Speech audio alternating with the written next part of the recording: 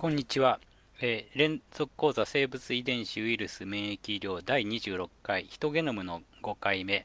えー胎盤ケースに関わるヒト内在性ウイルスのことを見てみたいと思います。私は講師を務めます、えー予備校講師で船橋の朝倉と申します。式としての新型コロナ対応の発信は朝倉ミキアル公式サイトに載せてありますのでどうぞご覧ください。さて、本講座はこの5つのポイントでやってまいりたいと思います。さて、えっと、今日はヒトゲノムの最終回ということですので、えっと、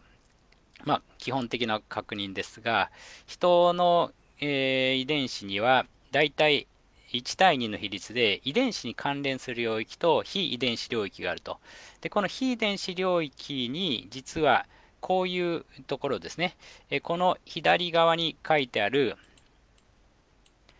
このラインとか、まあ、サインとかいう繰り返し配列、えー、散在反復配列があって、その中の一つにレ LTR 型レトロパラトランスポゾンというのがあるということを学びました。えーこれは、えーヒトゲノムの中にまるでウイルスのように自己増殖してきたような形の、えーまあ、遺伝子があるということですね。で、その LTR 型、まあ、その、えー自己増殖する遺伝子には 3, つタイプがあるんですけど、その中で特に LTR 型レトルトランスポゾンがウイルスに似てるので、そのことを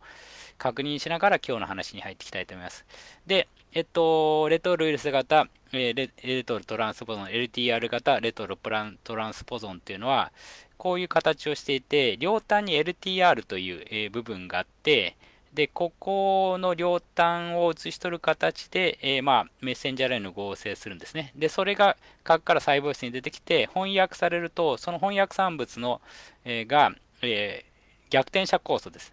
で、逆転写酵素で DNA に逆転写させ、そしてインテグラゼという、その核の中に遺伝子を組み、核の中に入った時に DNA にこの遺伝子を組み込むための、えこういう構造もきちんと、えー作ることができまして、えそうするとこういう形で入っていき、あのまた、え自分との遺伝子と全く同じものをこうコピーしたように増やしていくことができるということですね。コピーペーストの形が取れるということです。で、この増え方と実は HIV の増え方が実はそっくりなんですね。HIV というのはエイズウイルスですけど、ここに RNA と逆転写酵素があって、それを逆転写して、まあ、これもともとウイルスが持ち込んだもんですけど、その逆転写した日本差 DNA をインテグラーゼの力で人の DNA の中に組み込んでいくということですね。で、これの姿がそっくりなので、えー、もともとこのレトロ、えートランスボゾンのように自己増殖してきた遺伝子が、えーこの衣であるこうエンベロープというのをまとって飛び出てきたのがウイルスの起源ではないかという説もあるぐらいです。さて、で、えっと、この、えーレトロウイルスというのとレトロトランスポゾンというのがそっくりだということで、実は人の進化の歴史、まあ、特に哺乳類の歴史において、あの結構そのレこのレトロウイルスの、えー影響があるんですね。ですということで、ちょっと哺乳類に、あまあ、これ HIV の遺伝子ですの L LTR の構造が両端にあるというところを見ておいてください。さて、えそれで、哺乳類の進化の歴史です。で、哺乳類は爬虫類から分岐してきたんですね。で、爬虫類の中で、まあ、現存する爬虫類としてはカメ類とか、まあ、有輪類、まあ、鱗がある、えトカゲとかヘビ、そしてワニ類がいるわけですけど、その他に絶命した恐竜グループがあります。で、恐竜グループの中のほんの一部が生き残って、別の形で進化したやつが鳥類です。鳥類の仲間ですね。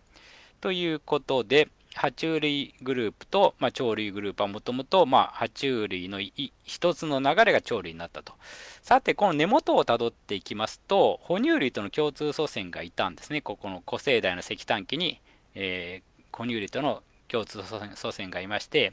この哺乳類との共通祖先から分岐して哺乳類になっていったグループの中の最も多数派のグループが今、えー有胎盤類と、もう私たちも含む胎盤を持った哺乳類です。ただ、胎盤を持たない有胎類、コアカンビラやカンガルーの仲間や、まあ、炭鉱類という、まあ、あの卵で、えー、子供を産む哺乳類もいます。卵で子供を産んでも哺乳類というのは不思議かもしれませんけど、哺乳類の定義というのは、お乳で子供を育てるということですので、まあ、きちんと炭鉱類も乳で子供を育てるので、えー、哺乳類に入れております。さて、それで、えっと、この有胎盤類になっていく仲間、この一つが私たちになるんですけど、これが爬虫類から分岐してきた歴史の中で面白いことが起こりました。で、やはり胎盤の獲得というのが私たちの哺乳類の主流派にとって一番重要な出来事の一つでしたね。さて、で、胎盤っていうのをちょっと構造を確認してみると、ここに、こっち側に胎児がいますね。こっちに胎児がいます。で、お母さんの体の中にいます。これ子宮の壁ですね。えー、で、子宮があります。で、その子宮の中に包まれた形で、えっと、まあ、えー、まあ、規定脱落膜というのが母親、母親側の組織としてこの規定脱落膜というのがあって、胎児側の組織の延長線上に最体がありますね。これへその緒です、ね。で、最体が、えっと、胎盤、あ、最体から伸びている組織が、えー、っと、まあ、まあ、母親側にくっついてる部分が、葉膜、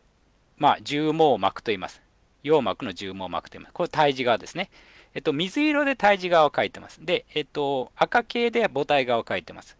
それで母体側としては、この規定脱落膜という子宮のとあの延長にある膜と、えー、があって、そのこの母体と胎児の隙間に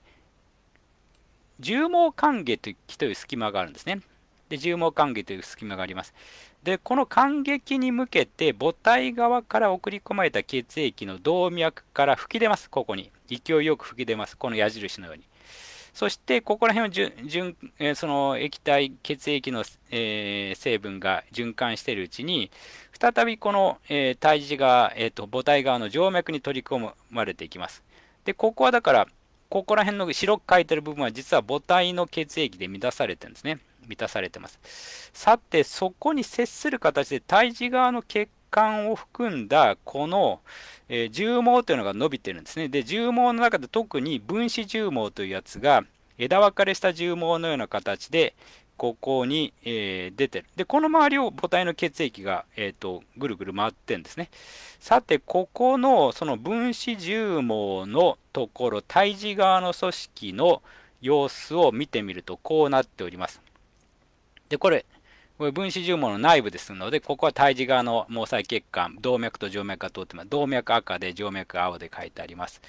それで、えっと、ここのところに、あの、栄養膜細胞、これ栄養膜細胞とここですね。栄養膜細胞と一層の細胞があるんですけど、その外側に栄養膜合法体細胞というのがあるんですね。えー、合法体細胞というのがありますこ。これはちょっと特徴があって、これ内側の栄養膜細胞の方は1つの細胞の中に1つの核がある形なんですけどこれは細胞が合着してしまって、えー、大きな、えっと、細胞の、まあえー、巨大な、まあ、ある意味では合体した大きな細胞になってその中に核がもともとあった、え、核が分散している、え、存在です。つまり細胞が合体したような存在になっていると。でこれが特に、えっと、妊娠の後期に行きますとこれが、まあえー、この栄養膜合法体細胞とまあ、シンシティトラストロポプラストっていうんですが、この細胞が周りを取り囲んで、実は栄養膜細胞の方がだんだんあの退化しちゃうんですね。ということで、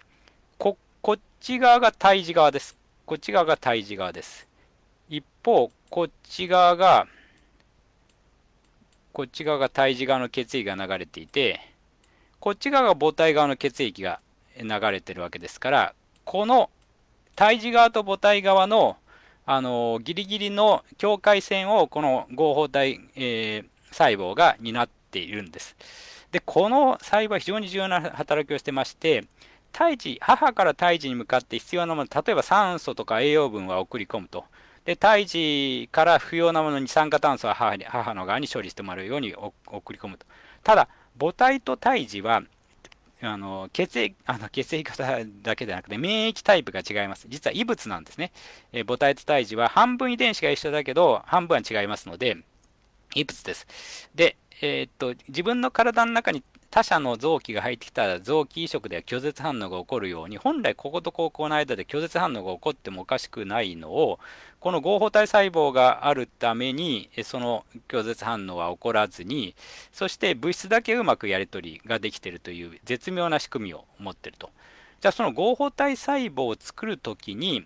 何遺伝子が関係しているかを調べたところ、えー、実はそれが内在性レトロウイルス遺伝子、さっきのあの LTR、まあ、別の表現すると、人の体の中に残されたレトロウイルス由来の遺伝子だったということが分かってきたんですね。これ、シンシチンと言います。シンシチン。で、シンシチンは、どうも最初に合法体細胞ができる前に、まあ、まず細胞は普通に単独でできます。で、その細胞表面に、え、発現して、これを接着して、大きな合法体細胞にさせる働きがあるんじゃないかということが、えー、まあ、分かってきておりまして、実は胎盤という絶妙な、えー、物質はやり取りするけれど免疫拒絶はしないという絶妙な働きをする哺乳類の一番決めたのところにウイルスが持ち込んだ遺伝子があるんですね。でかつてこのウイルスに人が感染、まあ、哺乳類の祖先が感染をして、それが生殖細胞にも受け継がれて、生殖細胞に受け継がれたものが、あの、まあ、えっと、今、私たちの体を、えー、というか、哺乳類の体を形作作る、その発生、赤ちゃんが誕生するときに役立ってるということですね。さて、もう一つ有名な例があるんですけど、哺乳類の皮膚の保湿に関わる SDS、えー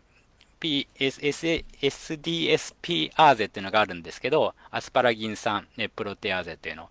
で、これは、えっと、簡単に言うと、爬虫類では、えー、鱗は硬くしてますね。でも哺乳類では、まあ、硬さも保ちながら、ある程度の保湿性も保つように、え、少し、えー、まあ、硬さを、え、まあ、和らげる働きがあるものを出してるんですね。で、それも、実は、えー、ウイルスが持ち込んだ、えー、ものであったということが兄弟の松井さんの研究で分かってきておりますので結構私たちの命の基本である胎盤や皮膚の保湿性に、ウイルスが持ち込んでくれた遺伝子が役立っているんですね。ということで、ウイルスと、えー、哺乳類は切っても切れない関係にあって、ゲノムの中にはそのあのそれが残っているということです。さて、えっと、今日はヒトゲノムの、ヒトゲノムっていうのは本当深めれば、あの、キリがないんですが、本講座では、えー、いよいよ、えー、来週から免疫に入っていきたいと思いますので、ヒトゲノムは今日でまとめとしますが、あのーこれはヒトゲノムを見る上で重要な、えー、ポイントというか、まあ、ヒトゲノムというか生物のゲノムを見る上で重要なポイントですので、ちょっと言っておきます。重複遺伝子と進化というのがあります。え、ー、と、これどういうことかというと、遺伝子が、こう A という働きのする遺伝子が、えー、ありましたね。で、それをコまあ、コピーというか、あの複製を何回かして同じ遺伝子をこう3つあの例えば作ってしまうことが結構あるんです。で、人の体にも動物の体の中にも同じ遺伝子がいくつもあることがあります。で、同じ遺伝子がいくつもあることもあれば、だんだんとそれが実は面白いことを起こしまして、A という働きをしてたものが、この A という働きの遺伝子がないと、もともとこれで生きてたわけですから、こう生きるのに必須ですね。でだから生きるに必須なものは1個は残しておかなきゃいけないんだけど、余分にコピーしたやつは別にちょっと変化してもいいということで、これ変化ができるんですね。こういうふうにして。で、そうすると、まあ私たちもよくやると思うんですけど、原本だけは大切に残していてコピーすると。で、コピーしたものにいろんな例えば修正を書き込んでもらって、その修正意見をまとめて新しく考えていくみたいなことがありますけど、そういうことが遺伝子でもできます。そうすると、えっと、似たような遺伝子が複数あるというパターンがあります。で、実はその形でうまくやってるのが人の、えー、グロビン遺伝子です。で、グロビン遺伝子は、えっ、ー、と、まあ、アルファグロビンというのとベータグロビンというのが人の体の中で有名なんですけど、ベータグロビンというものの遺伝子の周辺に、えー、実は、えー、イプシロン、ガンマ G、ガンマ A、それからデルタ遺伝子というのが連なって存在することが分かってきたんですね。で、これ同じタイプの遺伝子です。で、その、えー、ただ面白いことに、あの胎児期と新生児以降で発現の仕方が違って、イプシロンは胎児の本当の初期にだけ発生して、えっと、もう、あの、発現しなくなる。で、デルタは成人になってちょっと発現してるけど、あんまり発現、発現量多くないと。で、えー、一番重要なのはこのガンマ、えー、G とガンマ A が、え胎児期に発現して、ベータが新生、あの、新生児になって発現する。で、ちょっとこ、え、ー、と、ここ重要なことは書くの忘れたんですが、4、大体胎児の4、あ、新生児の4ヶ月ぐらいに、えー、この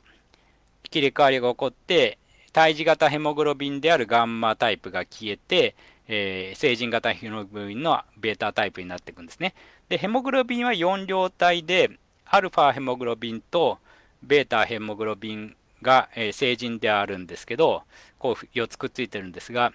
胎児ではこのベータの代わりにガンマがくっついてることが分かりました。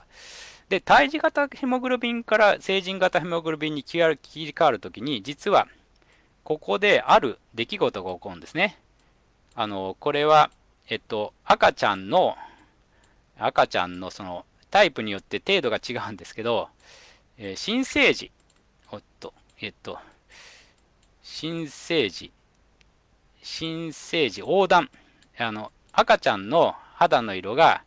黄色くなる現象があります。で、これはなぜかというと、横断っていうのはヘモグロビンを壊した時の廃棄物の色なんです。で、その、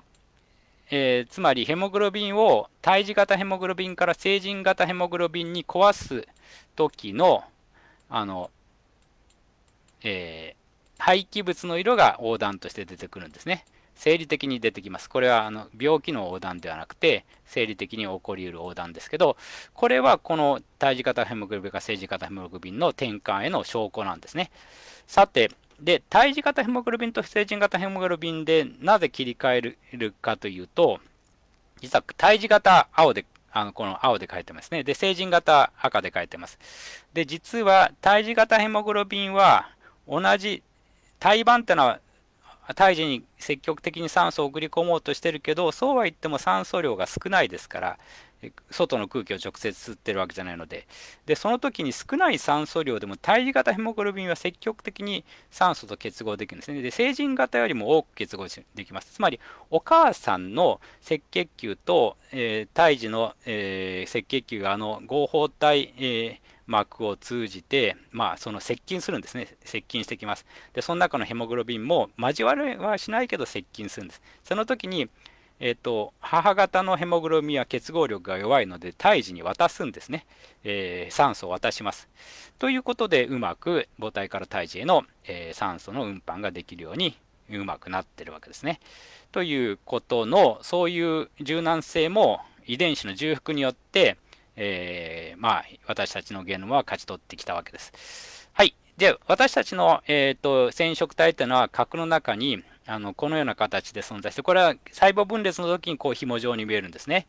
で、えっと、第1染色体から第22染色体まで、えー、あります。これ父由来、母由来が1本ずつありますので、それぞれの長い順に第1から第22まで作ってあの書いてある一番長いやつが第1ですねで一番短いやつが第22です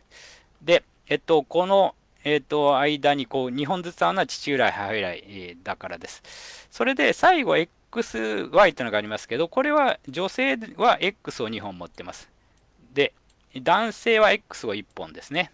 X を1本と Y1 本ということで、男女でちょっとこの持ち方が違うという、えー、形ですね。えー、ちょっと、マウスで書いてあるので、ちょっと無理があるんですけど、まあこういうことで、正染色体、性を決める染色体がここにあるということです。さて、その染色体という紐状のものに、じゃあ、D、細い DNA がどうやってうまく入ってるかというと、前にも言ったと思うんですが、ヒストンというこの青い玉に、この青い玉がヒストンっていうんですが、ヒストンというものにうまく巻きつけて、えっと、うまく収納してるんですね。さて、えっと、それで、えっと、これが人の染色体の具体的にどの染色体にどの遺伝子が載ってるかを示したものです。まあ、たくさんの遺伝子が載ってることが分かって、これ大、これだでも代表ですので、えー、もっといっぱいあるんですが、あの有名な遺伝子としては第一染色体に RH 血液型、それからダメラーゼとの唾液えで、えー、電波を分解する酵素ですね。アルアルツハイマー病にかかる遺伝子も第1染色体にあります。第19染色体には来週やりますインターフェロン、インターフェロン、えー、の遺伝子やアルデヒド脱水素酵素というのはお酒を飲んだ時に、えー、分解することに関わる、お酒、えー、に飲んだ時に関わるホルモン。で、ABO 式血 A 型などがあります。はい。XY 染色体型は、X 染色体は女性を決定、女性、っていうか、Y 染色体が男性を決定する要素がありまして、XX だと女性で、えっと、人間の元気は女性系だけど、え Y 染色体の SRI 遺伝子があると男性化するということで、まあ、ここにも様々な遺伝子が載っていることが分かってきております。という形で染色体には様々な遺伝子が載っているということですね。はい。で、本日は、まあ、一番、えー、言いたかったのはここですね。私たちの体の中で胎盤という哺乳類にとって一番根幹の組織を形作っている合法体細胞、えー、合法体細胞、この合法体細胞をそうならしめたあの遺伝子はレトロウイルスが持ち込んだ遺伝子であると。で、それが今でももうウイルスとしてはもう増殖しません。ウイルスがとして増殖せず、増殖するために脱出してその粒子になんだけますけども、それの活動を停止して、一回、一回その持ち込まれた遺伝子がもう遺伝子として働いて、え静かに私たちの体を支えてくれてるということですね。で、こういう歴史まで考えると、ウイルスというのは全体的に見れば、決してその、忌むべきというか、えー、敵だけの存在ではなく、まあ確かに今警戒しなきゃいけない状態が続いてますけど、ウイルスなしに哺乳類の進化はなり得なかったというところが様々ありますので、まあ、あの一部の病原性ウイルスは人類にとって脅威になるから、それを封じ込めるというか、抑え込む、うん、あの必要性があるとはいえ、ウイルス全体とは人は共生をして生きてきたという視点で見ていただければと思います。それでは、えー、来週、えー、土日はお休みにしまして、来週月曜日から、えー、人の免疫系の話に入っていきます。ご清聴ありがとうございました。